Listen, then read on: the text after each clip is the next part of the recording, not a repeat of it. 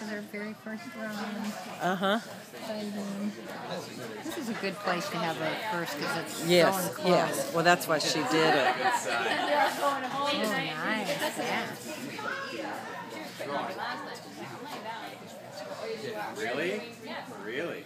Oh, good. Well, I was just like, we have to get to sit. Oh. You can't like do three pop out. How old is this dog? It looks so experienced. I mean, I didn't do it She's been working on it. He's she's been working on it. Did he get those?